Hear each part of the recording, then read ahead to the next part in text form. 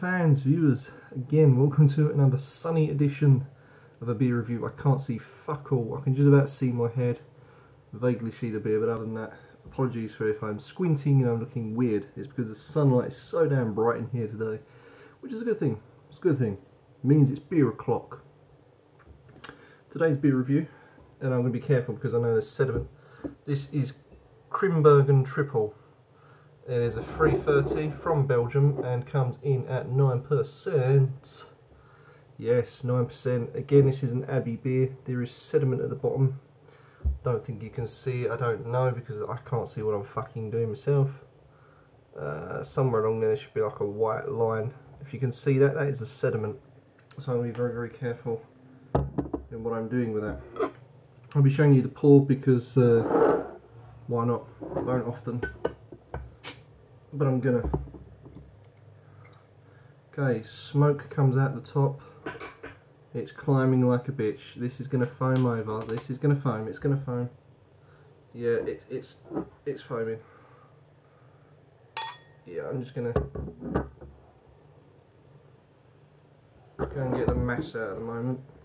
Right so I'm just gonna leave that to settle for a sec Here's the cap, I'm quite liking that, the phoenix with the word Grimbergen in like a cream colour, white ivory cream, whatever you want to call it. Yeah. Okay, so let's uh, see if I can get a bit more of this. This is so well carbonated, it is untrue. I'm having real difficulties with this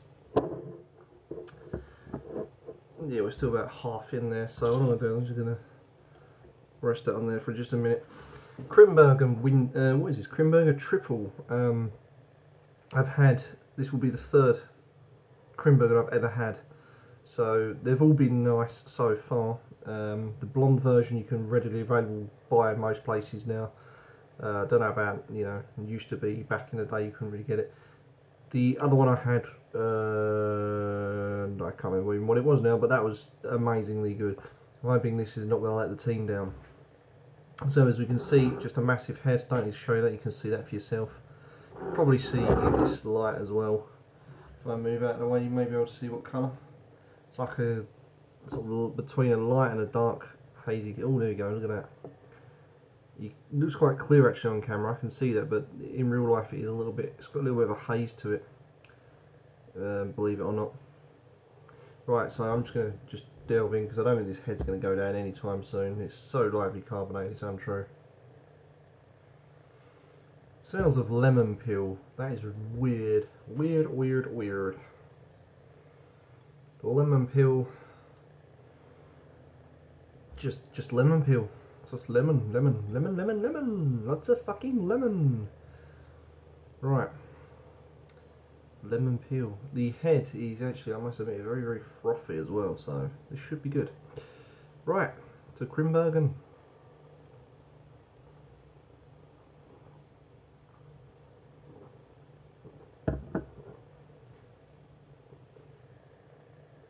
Wow. That is, oh. Wasn't expecting that little kick at the end there. Wow that is uh, that's, that's, that's this is uh, my kind of beer, fans. My kind of beer. This is very very lively. It's so well. I say lively. The head's lively. The body of the beer is so soft, very soft, gentle. You know, you, have got um, a uh, flavors of again lemon, slight citrus, mostly lemon dominated and then you get this kick of alcohol. There's a nice rounded warmth to it from start to finish. And at the end there, I've got a real kick of alcohol. So let's see if I can uh, crack on with some more of this. See what else I can get.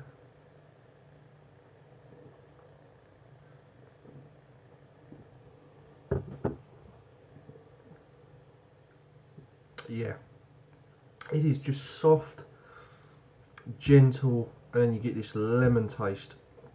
Nice lemon zestiness gentle citra. Oh and then you just get a bit more well not more but there's a, a less of a burn now. I think that first one took me by surprise, but after you sort of start to drink this, the alcohol burn doesn't really bother you. In actual fact, it's quite pleasant to have that warmth as a back note, citrus flavour that's nice and soft and gentle. This really is a lovely beer. This this is like your your ex gangster granddad or something. You know, this is like an old timer who's soft and gentle, but rub them up the wrong way, they'll give you a fucking good hit. And that's what it does. It does. It's it's beautiful. Well done to the Abbey that made it.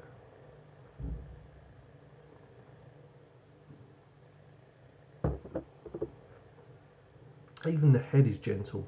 Everything about this beer is gentle. Love it. Love this. Uh, there you go, one more time fans. Grimbergen Triple. Wow, even that aftertaste is just lovely. It's got a slight fruitiness as well. You let it really appreciate and your palate just works. It's there's slight hint of fruit there. Um, beautiful, beautiful. I'm going to score this a.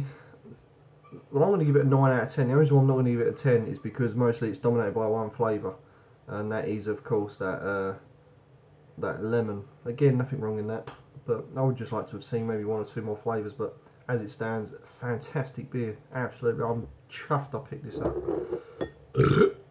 Next time on my beer reviews, I will be reviewing a um, Holy Grail. So you're not going to want to miss this next review that I'm going to be doing. It, all I'm going to say is it's 750 uh, mil and it comes in at 11.5% and it's from Belgium. So you don't want to miss that. So don't forget fans if you want to watch that then please do. Don't forget to like comment subscribe and share my videos. And until next time for my big daddy of a beer. Thanks for watching